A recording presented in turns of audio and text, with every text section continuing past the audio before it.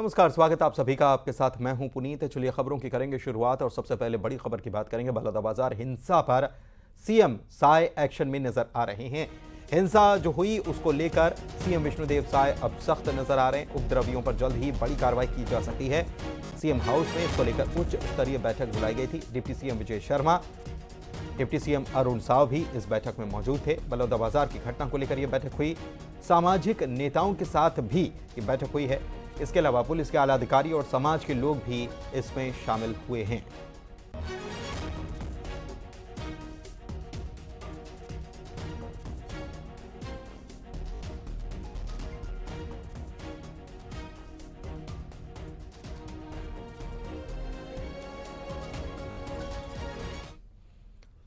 चलिए आगे बढ़ेंगे और बात अगली खबर की करते हैं। तो ये बड़ी बैठक जो है, ये हुई है और बड़ी कार्रवाई हो सकती है। बलौदाबाजार शहर में धारा 144 जो है, वो लागू है। कलेक्टर ने इसके आदेश जारी कर दिए थे कल ही।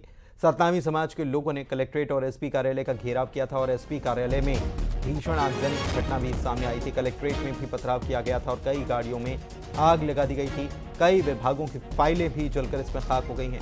सौ से ज़्यादा गाड़ियों में तोड़फोड़ की गई थी और 12 से ज़्यादा कारों में आग लगा दी गई थी।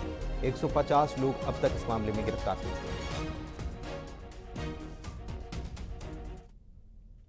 कार्रवाई पर्याप्त हो रही है और कंटिन्यू कार्रवाई चल रहा है। आसपास के जिलों के पुलिस ऑफिसर उनको बुलाया गया है। आईजी रायपुर सर और आईजी बिलासपुर सर दोनों इसको मॉनिटर कर रहे हैं। और एसपी और हम कंटिन्यू इसमें काम कर रहे हैं, हमारे ऑफिसर्स काम कर रहे हैं। लगभग मुझे जो जानकारी इसमें सब दो सौ गिरफ्तारी हो चुकी है। उनमें से सबकी पूछताछ चल रही है और जो भी उनके साथ शेडिंग शेडिंग होता वो आगे जो बताएँगे, किसने उनको इंटीग्रेट किया, किसने बुलाया, वो सब गिरफ्तारियाँ होंगी तो लगातार हमारी टीम लगी हुई है और गिरफ्तारियाँ होंगी सौ से ज़्यादा गाड़ियों में तोड़फोड़ की थी और आगजनी की तस्वीरें जो है आप अपने टीवी स्क्रीन पर देख पा रहे हैं कि क्या घटनाक्रम पूरा हुआ। और अब कल तो पूरा उपद्रव खत्म हो गया। ऐसी सख्ती पुलिस की देखने को नहीं मिली और सवाल भी कई खड़े हुए कि जब ये प्रदर्शन की जानकारी थी तो पहले से पुलिस तैयार क्यों नहीं थी? क्योंकि लगातार युगल हमारे संवाददाता हमारे साथ रायपुर से जुड़े हुए हैं। युगल, क्या जानकारी? देखिए पुनीत, अभी भी हाई लेवल जो मीटिंग है सीएम हाउस में चल रही है और आधा दर्जन से अधिक जो मंत्री हैं वो इस बैठक में शामिल हुए हैं। पुलिस के आला अधिकारी हैं समाज के लोग हैं। दरअसल मामला और भी ना हो, उग्र ना हो तो इसको लेकर के समझाइश के लोगों को ताकीद किया जा रहा है। और साथ ही साथ जिस तरह से वहाँ पर करोड़ों की धन हानि हुई है, कई कारों को जलाया गया है। इसमें दोपहिया चार पहिया वाहन भी शामिल है।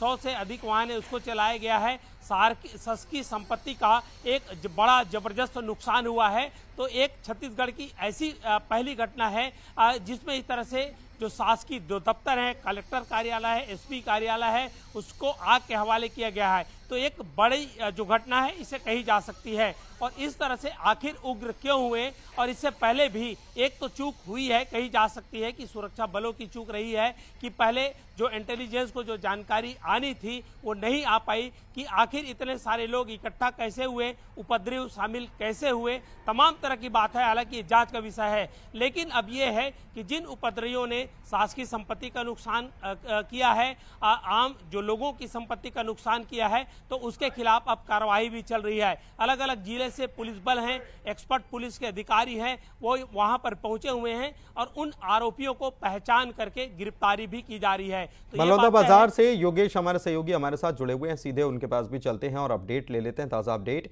योगेश क्या जानकारी अपडेट क्या आपके पास?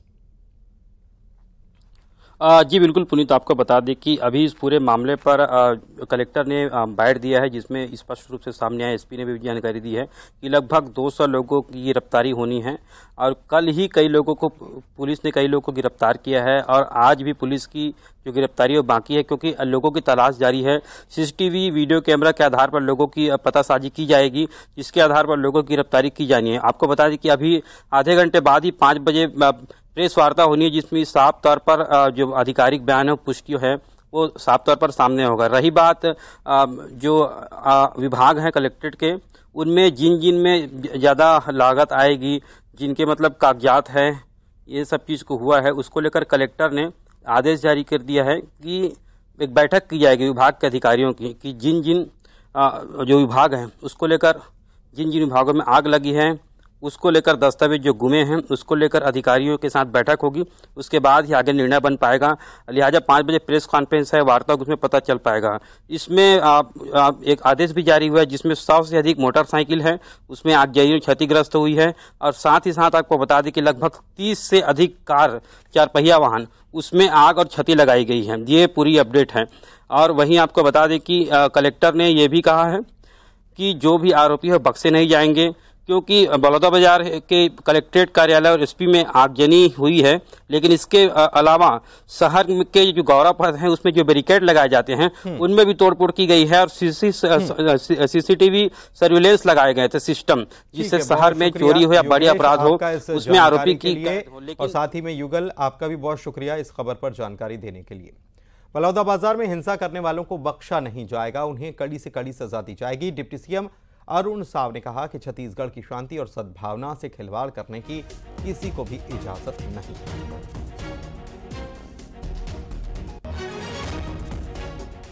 रवि तत्व हैं जिन्होंने इस तरह से गंभीर घटना को अंजाम दिया है, उन पर कठोर कार्यवाही की जाएगी।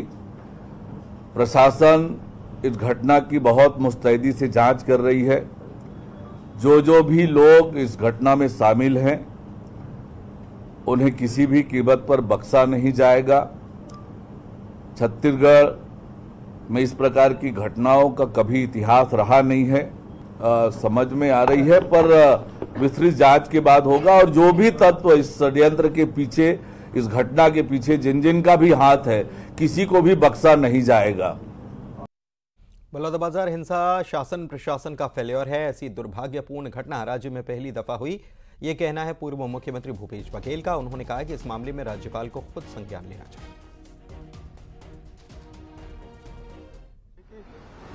शासन नाम की चीज़, जो लॉ एंड ऑर्डर है, वो बिल्कुल खत्म हो गया है।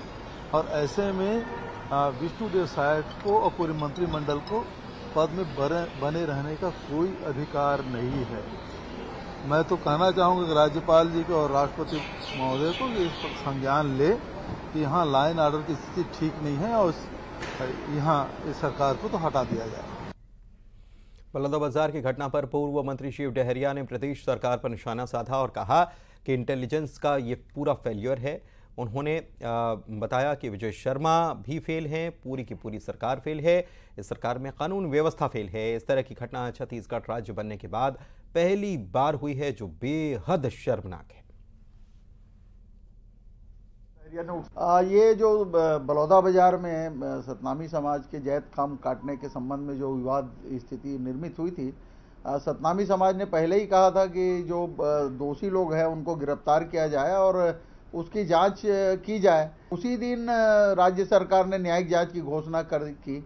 अगर वो पहले कर दिए रहते तो इस तरह घटना होती नहीं है। और हम लोग पहले से कह रहे हैं कि पूरे प्रदेश में कानून व्यवस्था की स्थिति अत्यंत खराब है और सरकार का नियंत्रण उस पर नहीं है।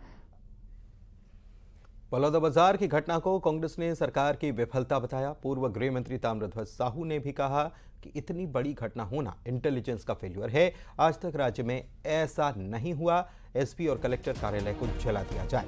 इस घटना की निष्पक्षता से जाँच हो। ये शासन की कमज़ोरी प्रदर्शित करता है। शासन के इंटेलिजेंस कहाँ था?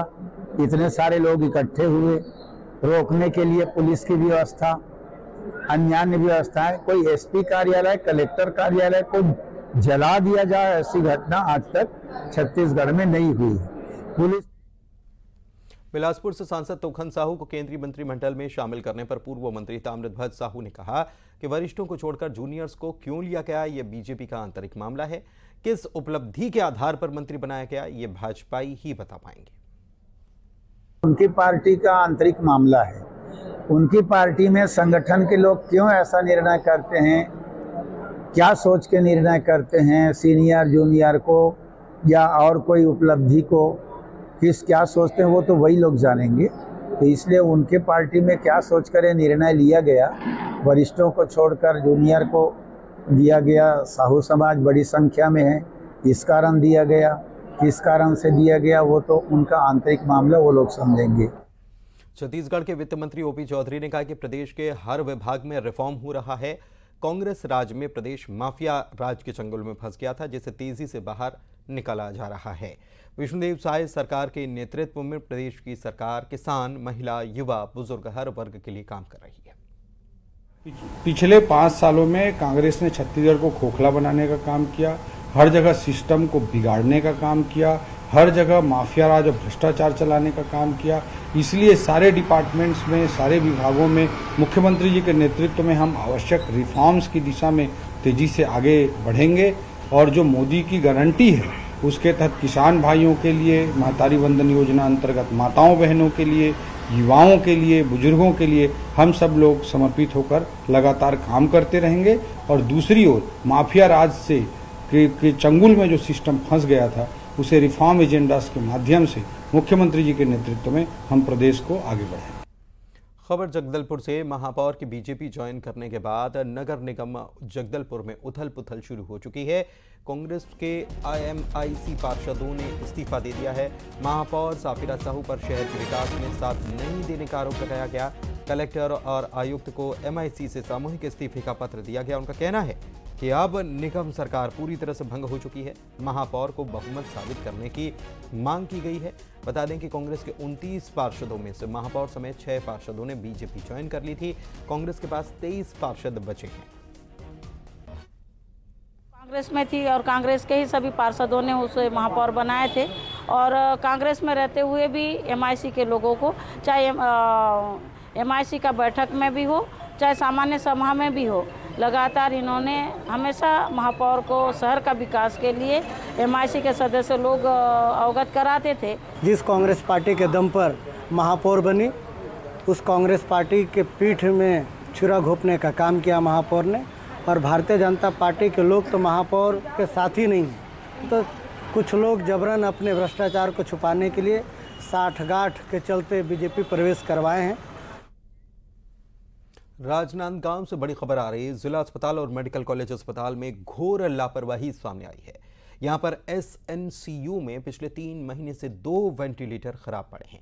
यहाँ पर 20 बिस्तरों में 33 से ज़्यादा नवजात भर्ती हैं। बिस्तर 20 नवजात 33 एक बिस्तर पर दो से तीन बच्चों को इलाज किया जा रहा है। अस्पताल प्रशासन को मासूमों की कोई फ़िक्र नहीं है, ऐसा नज़र आता है। या व्यवस्थाएँ जो हैं वो उतने अनुरूप नहीं है। एक महीने भर में 70 से 80 नवजात यहाँ पर भर्ती होते हैं।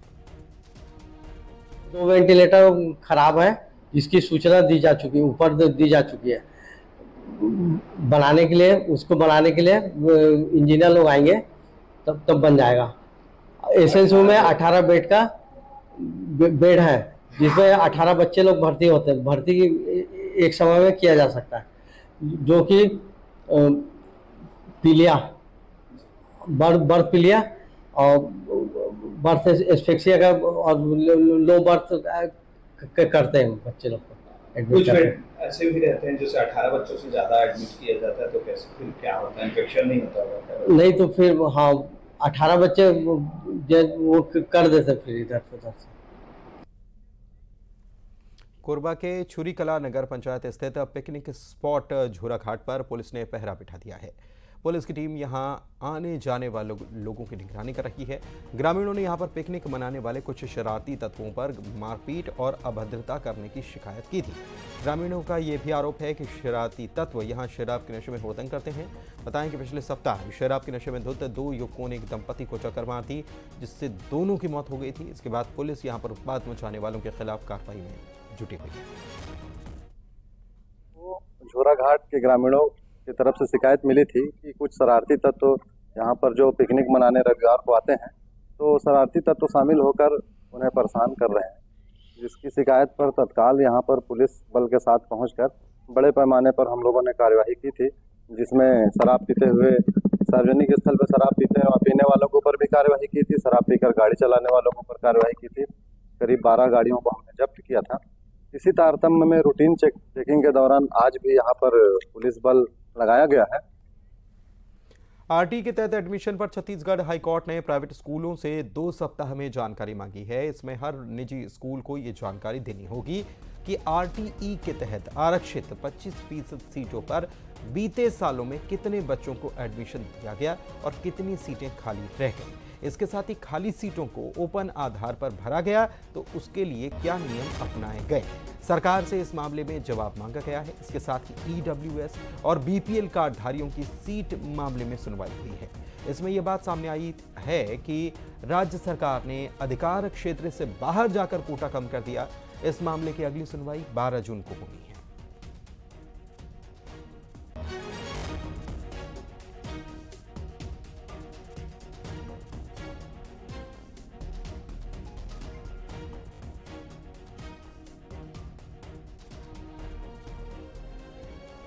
कोरबा में पानी को लेकर चक्का जाम हुआ है और कई बस्तियों में पानी नहीं आ रहा है। इसकी वजह से नाराज़गी लोगों ने जताई है। माकपा के नेतृत्व में ये चक्का जाम किया गया और बाकी बस्ती की मुख्य सड़क है। वहाँ पर यह चक्का जाम कर दिया गया है। भारी वाहनों की लंबी कतार यहाँ पर लगी हुई नज़र आ रही है।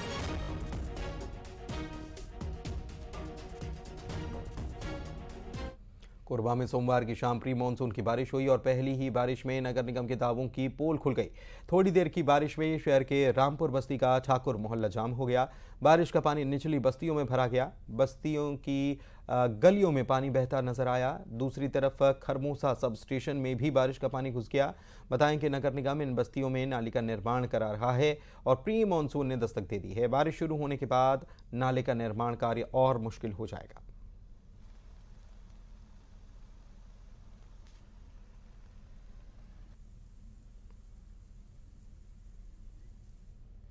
दंतेवाड़ा में मौसम बदल गया। यहाँ पर गरज चमक के साथ बारिश हुई, तेज हवाएँ चली, बारिश के चलते तापमान में गिरावट आई। लोगों को उमस और गर्मी से राहत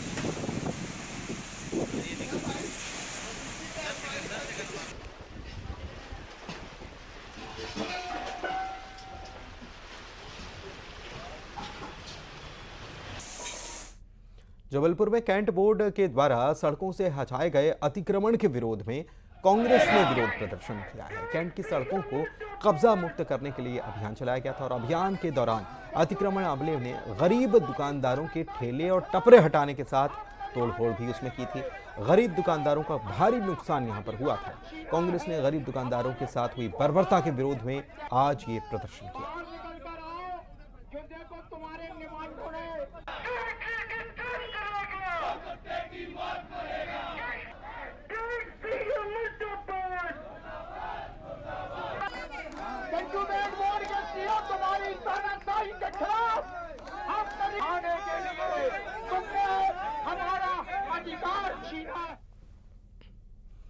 पवन हमारे संवाददाता फ़ोन लाइन पर जुड़े हुए हैं। पवन, पूरी जानकारी दें इस पूरे मामले को लेकर। विरोध प्रदर्शन आज हुआ है। नाराज़गी जताई गई। जी, बिल्कुल, ये कैंट बोर्ड के द्वारा एक अभियान चलाया गया है, जिसके तहत सड़कों पर जो अतिक्रमण जमे हुए हैं, ठेले, टपरे और दुकानें जमी हुई हैं, उन्हें हटाया जा रहा है। लेकिन जिस तरह से ये कार्रवाई की गई है, वह सवालों के घेरे में है, क्योंकि जो अतिक्रमण दल है, जब वो ठेले, टपरे हटा रहा था, दुकानों को हटा रहा था तो न सिर्फ़ उन्हें हटाया गया, बल्कि उनके दुकानों में तोड़फोड़ की गई, ठेले, टपरे तोड़ दिए गए उनके जो दुकान थी, उनको तोड़ दिया गया, सामान को सड़क पर बिखेर दिया गया। तो ये सारी चीज़ें से जो है गरीबों का नुकसान हुआ है, जो दुकानदार थे उनका नुकसान हुआ है, और इसी के विरोध में कांग्रेस ने आज प्रदर्शन किया है। ठेले टपरे जो तोड़े गए, दुकानें तोड़ी गई, उनका सामान बीच सड़क पर ले जाकर और रैली के माध्यम से सभी को दिखाया गया कि किस तरह से कार्रवाई की गई। उसका विरोध प्रदर्शन किया कैंट बोर्ड मामले की जाँच करने का आश्वासन दे रहा है, जिसके बाद ये आंदोलन खत्म हुआ। बहुत शुक्रिया आपका इस जानकारी के लिए।